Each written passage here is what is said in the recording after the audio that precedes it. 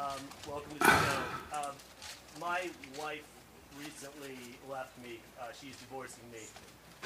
What can I do to, to, to get her back? What advice could you give somebody like me to get her back? I'll talk to you afterwards, okay? I'm happy to. I promise. I'll talk to you afterwards, all right?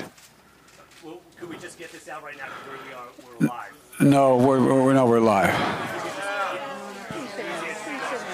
I'm beginning to see why your wife left you. Come on, man.